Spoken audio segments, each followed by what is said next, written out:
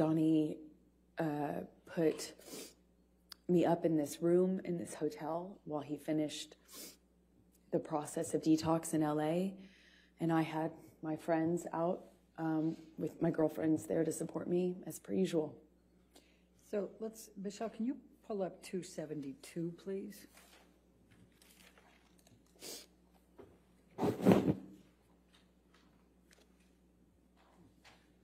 And after you both returned to LA, did Mr. Depp communicate with you by text while you were apart, while he was finishing the detox?